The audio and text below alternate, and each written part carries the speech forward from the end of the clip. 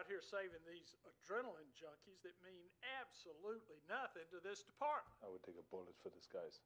Hmm, you take a bullet, would you take 10 million bucks? Would you take 10 million?